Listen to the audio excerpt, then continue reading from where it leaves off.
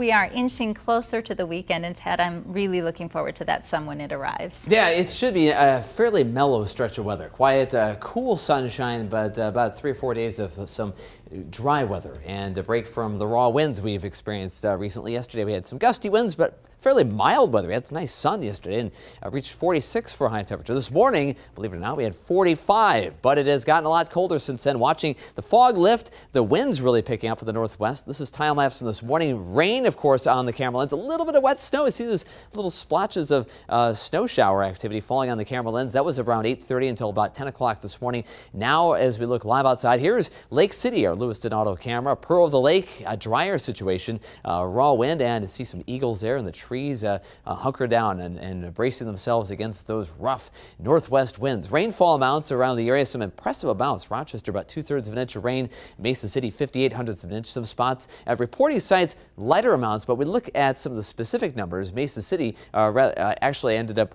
with uh, 77 hundredths of an inch, the same as Austin, so a significant amount of rainfall there. B uh, Byron almost an inch, 0.92, and Wabasha 1.01 inches.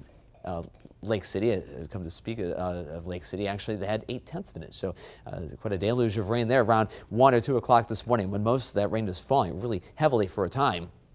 One inch of rain heading into today already, this is not including today's rainfall since midnight in Rochester. But uh, looking at the summary for the month so far, 1.31 would be normal, slightly below average, but you tack on about the half inch or so we've picked up since midnight alone. And now we have maybe a slight surplus for November.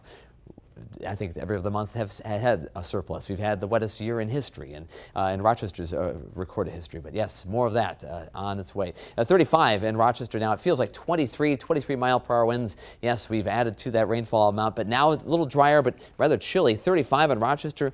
Austin 37, it's 36 in Mason City, Winona 36, and there are these winds, pretty powerful stuff. Uh, they'll be pretty uh, gusty in that 30 to 40 mile per hour range until about 5 or 6 this evening, and then slowly uh, drop off. But it'll be after midnight before we really see the winds in what we would consider a calm range. Uh, so we're looking at a pretty brutal stretch of uh, some raw, windy weather and some falling temperatures slowly now, not falling as quickly as they were, but we're in the low and mid 30s now. We'll stay there this afternoon, falling to the 20s eventually. Cold sunshine tomorrow, though though. Uh, less wind, more sun. Not a bad day, just a little cooler than the weather we've had recently. There goes the rain on satellite radar. Still the clouds hanging around the air, but there is some clearing to our northwest. A sharp dividing line between the clouds and the clear skies under that strong high pressure. A lot of sunshine in store, and we'll clear things out later tonight uh, and uh, have some sun tomorrow again. 35 in Rochester to the northwest. Look how much colder it is. Morris, 19. It's 24 in Marshall. You see what's kind of headed our way this afternoon. 30s, then 20s. We see the skies clear quickly quickly right around 5 or 6 o'clock.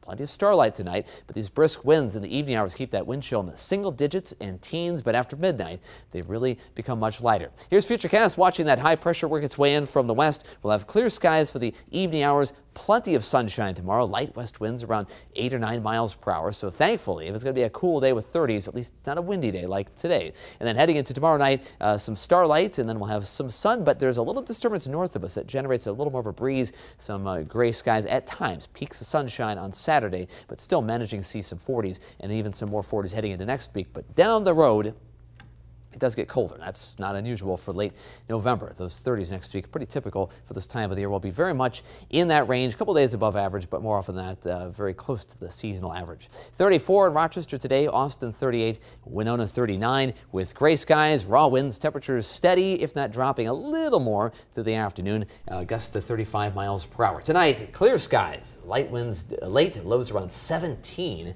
And tomorrow, some light winds, some sun, 36, mostly sunny. 70 forecast looking at a breezy Saturday, but Sunday looks pretty good.